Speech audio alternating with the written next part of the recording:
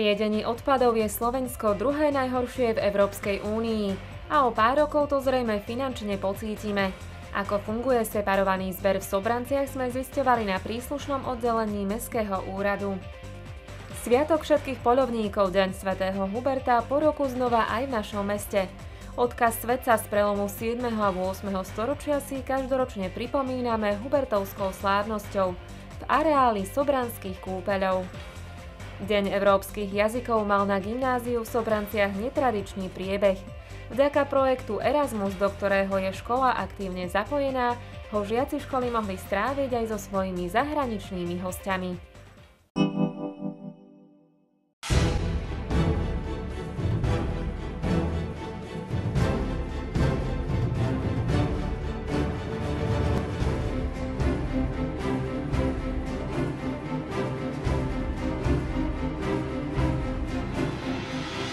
Aktuálny sobranský magazín si vzal na mužku odpady v našom meste. Nakoľko na Slovensku väčšinu odpadu posielame na skládky a v triedení je Slovensko druhé najhoršie v rámci Európskej únie, zisťovali sme, ako je na tom separovaný zber v Sobranciach. Vďaka zeleným, modrým a žltým kontajnerom je u nás najznámejšie triedenie skla, papiera a plastov. Mesto Sobrance je zapojené do separovaného zberu. V zmysle zákona e, mesto Sobrance má podpísanú zmluvu s organizáciou zodpovednosti výrobcov, e, ktorá zabezpečuje zber a likvidáciu odpadu z obalov. E, tieto odpady sú známe tým, že sú označené farebnými nádobami. Organizácia zodpovednosti výrobcov má podpísanú zmluvu s firmou e, Fura SRO, ktorá v meste Sobrance zabezpečuje zvoz a likvidáciu tohto odpadu z obalov. Necelú polovicu odpadu z našich domácností tvorí biologický odpad, ktorý je však možné kompostovať. Aj na Slovensku množstvo domácností a obcí, ktoré sa aktívne venujú kompostovaniu, z roka na rok narastá. Kompostovať sa bude aj v Sobranciach. Vďaka projektovej výzve, do ktorej sa mesto zapojilo, tu do záhrad rodinných domov poputuje takmer 1250 kompostérov. Momentálne sme v druhom štádiu opakovania verejného obstarávania. Čakáme na potvrdenie vybratého dodávateľa a tieto kompostery budú následne v meste e, občanom, ktorí žijú v rodinných e, domoch, distribuované. E, jedná sa o kompostery, ktoré budú v šiestich veľkostiach a budú distribuované podľa toho, ako majú ľudia v katastrálnom území E, zapísané pozemky e, ako záhradu. Na základe toho boli vyberané ako veľkostné kategórie komposterov. Dúfam, že aj touto separáciou hej, vzniknú, vlastne zaniknú rôzne divoké skladky, ktoré proste v rámci okolia Sobraniec sa vyskytujú. Ľudia by nemali mať pocit, že im triedenie a kompostovanie príliš komplikuje život. Aj keď je hádzanie odpadkov do jedného smetného koša určite jednoduchšie, treba myslieť na to, že kvalitu života ďalších generácií výrazne ovplyvní aj stav životného prostredia ako správne separovať, recyklovať a kam všetky vznikajúce odpady hádzať. Sa preto učia aj na našich školách. Témou separovania odpadu sa na našej škole zaoberáme už niekoľko rokov, čomu nasvedčujú aj mnohé aktivity, ktoré sa na našej škole konali doteraz. Triedenie odpadu je súčasťou aj environmentálnej výchovy, ktorú zaradzujeme aj do školského vzdelávacieho programu, do medzipredmetových vzťahov a do prierezových tém jednotlivých predmetov. V rámci Dňa Zeme sa tiež formou blokových aktivít venujeme tejto téme separovania a recyklácie, v čom chceme aj naďalej pokračovať a šíriť túto osvetu medzi žiakmi. Snahou učiteľov a žiakov našej školy je, aby téma recyklácie, triedenia odpadu, separovania odpadu a celkovo téma environmentálnej výchovy neostala len na papieri, ale aby sa priamo včlenila do vyučovacieho procesu. Snažíme sa teda rôznymi aktivitami túto tému realizovať v priebehu vyučovania. Ale zase na druhej strane musím povedať, že na separovanie a triedenie odpadov ako také Nemáme ešte na škole vytvorené ideálne podmienky. Dúfam, že v budúcnosti sa to zmení a teda plnohodnotne budeme môcť túto tému realizovať. Nie v každej triede sú koše rozlišené farebne a teda nie každý má tu možnosť vhodiť odpad do správneho odpadkového koša, aj keď na druhej strane je separovanie realizované hlavne teda cez upratovačky, ktoré majú pokyny a vedia, ako potom nakladať s týmto odpadom a ho vytriediť. Mesto ako samozprávny orgán je zo zákona povinné zabezpečiť odvoz komunálneho odpadu. Čo však robiť v prípade, keď sa potrebujeme zbaviť elektroodpadu, objemného odpadu či rôznych nebezpečných odpadov? Na takýto účel v meste slúži zberný dvor. Sobrancia ho prevádzkuje spoločnosť Fura na Michalovskej ulici. Na tomto zbernom dvore môžu občania Sobraniec e, uložiť v dňoch streda v dopoludnejších hodinách a v sobotu v dopoludnejších hodinách e, iné druhy odpadov, ako sú napríklad papier, sklo, drevo, elektrické zariadenia, elektronické zariadenia, farby, žiarivky, nadrozmerné e, odpady, odpady z búracích prác a podobne. Slovensko sa zaviazalo, že do roku 2020 zvýši mieru recyklácie na 50% Zatiaľ však nedosahuje ani polovicu tohto záväzku a v súčasnosti v našich mestách a obciach recyklujeme len necelú štvrtinu odpadu. Aj v Sobranciach máme v oblasti separovania, zdá sa ešte pred sebou dlhú cestu. Čo sa týka separovaného zberu občanov Sobraniec, e, tento zber je zatiaľ v rámci sobrania na veľmi nízkej úrovni. Za predchádzajúci rok hej, podľa výsledkov hej, vytriedenosť e, odpadu z obalov bolo na úrovni necelých 10 e, z celkového komunálneho odpadu. A celková vytriedenosť odpadu v rámci Sobianec sa pohybovala na úrovni necelých 39 Štát chce po novom ľudí motivovať na separovanie aj tým, že zvýši poplatok za skládkovanie odpadu. Platila by to obec a tá by vyššie poplatky preniesla na svojich obyvateľov. Ak napríklad obec nebude triediť, zrastie jej poplatok za skládkovanie nevytriedeného odpadu, tzv. zmesového komunálneho odpadu, od roku 2023 až 9 násobne.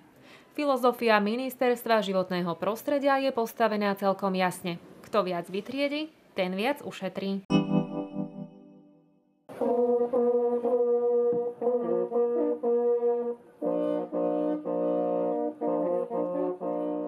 Zvykne sa tak tradovať, že odkazom svätého Huberta je, že zvieratá nielen loviť, ale aj starať sa o ne, ochraňovať ich a takisto aj celú prírodu.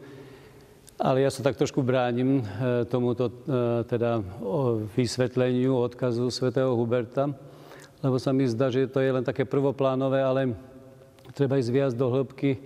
Myslím, že odkazom bude skôr téma jeho obrátenia. Tento človek sa stretol s Kristom a zmenilo to jeho život. Podľa legendy, ako ten, ten jeleň e, s krížom uprostred parožia, to symbolizuje vždy Ježíša Krista. Ale možno nie je tak dôležité, či to bolo tak, lebo koniec koncov e, tento obraz e, jelenia s krížom uprostred parožia už máme u svetov Eustacha a to bolo niekedy okolo roku 270. Čiže možno to nie je také, že typicky svetohubertovské, ale, ale faktom je, že tento človek zmenil svoj život a to je dôležitý odkaz, že nás to volá k obráteniu, k zmene zmýšľania, aby sme znovu našli Boha, aby sme dovolili, aby Boh našiel nás, aby sme sa otvorili pre Neho, pre Jeho hlas, aby sme počuli aj ten hlas, lebo každému z nás sa Boh prihovára a volá ho e, do svojho srdca. A takto potom človek, ktorým prebýva Boh, e, áno, celkom prirodzene chce chrániť potom všetko živé. A nezúžme to len na zvieratá alebo na les, lebo potom sa dostávame možno k takým paradoxom, že Napríklad je chránené mláďa orlia, orla ešte aj pred e, vyliahnutím, teda aj vajíčko, je to trestný čin vykradnúť hniezdo orla skalného alebo sokola rároha alebo niečo podobné. A pritom nám vôbec nevadí, že v tom istom čase nie je chránené napríklad dieťa pred narodením. a zabíjame deti v lone matky. Ak človek nemá úctu k životu ako takému a nezačína od človeka, ak dokáže zabiť a zdevastovať život v lone matky, aj keď jasne mu už bije srdce, aj keď by sme mohli brať už od počatia, ako potom môže chrániť účinne zvieratá a prírodu? Takýto človek tvrdého srdca nikdy si preto to nenájde úplne správny a dobrý zmysel. A tak vlastne také pozvanie aj svätého Huberta chrániť všetko to božské, počnúť od človeka, jeho život a dovoliť, aby Boh konal v našich životoch, premienial naše srdce a s takýmto srdcom človek potom prirodzene vidí lásku Božu na každom kroku, aj v prírode, potom túži komunikovať s Bohom, s. Keď je pozývaný k tomu, aby ju aj podmanil, nebude ju devastovať, ale naozaj rozvíjať pre svoje dobro a pre dobro všetkých aj pre tie ďalšie generácie. A potom áno, potom by to možno mohlo byť aj trošku environmentálna téma. Ale počiatok a koreň má kde si hlbšie a na to by sme nemali zabúdať. Európsky deň jazykov sa na našich základných či stredných školách stal za posledné roky tradíciou. Ten tohtoročný bol na gymnáziu v Sobranciach predsa len v niečom výnimočný. Žiaci ho oslávili spolu so svojimi zahraničnými hostiami z partnerských škôl z Polska a Talianska. Dôvodom ich príchodu na Slovensko bol spoločný projekt Erasmus+, ktorý mal názov Zachovať a zdieľať ľudové tradície. Tento projekt sme začali v roku 2018, máme za sebou už prvú mobilitu, čiže stretnutie mládeže v poľskom meste Šierpc, kde sa naši mladí žiaci poprvýkrát spoznali a Poprvýkrát sa podelili o svoje tradície v rámci folklórneho spevu a folklórneho tanca. E, počas tejto mobility, čiže stretnutia, sme sa rozhodli zamerať na tradície svadobné, keďže naša história je veľmi bohatá a svadobné tradície teraz ožívajú na každých svadbách. Takže v rámci tohto projektu, ktorý sme zároveň prepojili s Medzinárodným dňom jazykov, ktorý je práve v tento deň, sme predstavili kultúru a svadobné tradície krajín, jazykov, ktorých sa učíme v škole a zároveň jazykov našich partnerských krajín. Myslím si, že podľa reakcií obecenstva išlo o veľmi vydarenú akciu a som nesmierne vďačná všetkým účinkujúcim a všetkým, ktorí sa vlastne zúčastnili na príprave tohto podujatia. Gymnazisti v pripravenom programe predstavili obradové tradičné zvyky spojené so svadbou v Nemecku, Rusku a Anglicku. Svoje národné svadobné tradície na oplátku predstavili aj hostia z partnerských škôl. Mogliśmy przedstawić nasz własny tradycyjny taniec, polones. I Mohli sme predstaviť náš tradičný folklórny tanec polonézu a rovnako som sa i ja naučila veľa o tradíciách Slovákov a iných národov. Slovensko si určite zapamätám. Slovensko to sú ľudia a ich tradície. Všetka tá láskavosť a dobro, ktoré som tu od nich dostala, boli fantastickým zážitkom a určite na to nikdy nezabudnem. I na pewno nikdy to nezapomnę. Tradičné svadobné zvyky zemplínskeho regiónu veľmi originálne aj v zemplínskom nárečí predstavili starší žiaci gymnázia v spolupráci s folklórnym súborom Viničiar a v sprievode ľudovej hudby Magočky. Tento projekt bol výborným projektom. Pripomenul našim študentom, že si máme zachovávať tradície, na ktoré sa zabúda a zdieľať ich s ostatnými, ale zároveň ich zdieľať s ostatnými európskymi krajinami ako Slovensko a Poľsko. Tento projekt obohatil nielen ich vzdelanie, ale umožnil mnohým študentom s ekonomickými problémami cestovať po celom svete, spoznávať nové kultúry a národy a prekonať ich predsudky voči niektorým kultúram.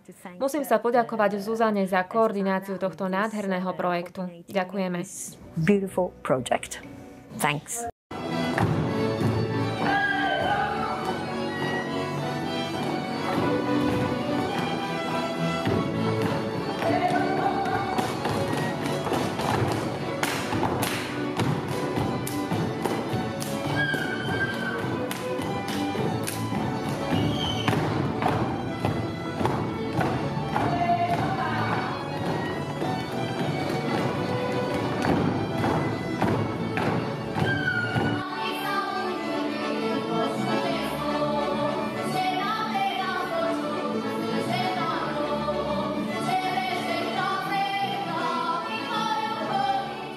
Vďaka projektu Erasmus Plus študenti Sobranského gymnázia strávili so svojimi rovesníkmi zo zahraničných škôl niekoľko dní.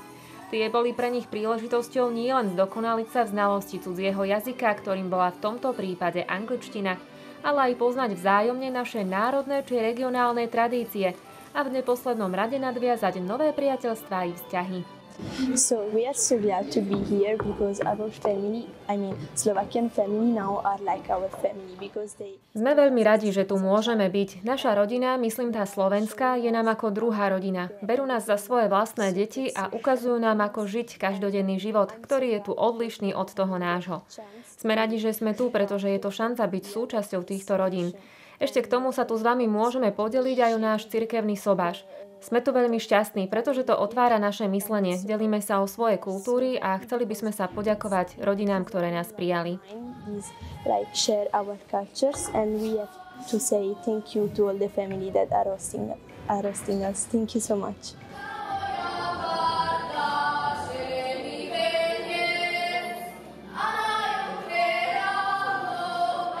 Moji spolužiaci sme veľmi vďační za to, že sme sa mohli zúčastniť na tomto projekte, ktorý nám dal možnosť poznať kultúru nielen našej krajiny, ale aj krajín našich partnerov.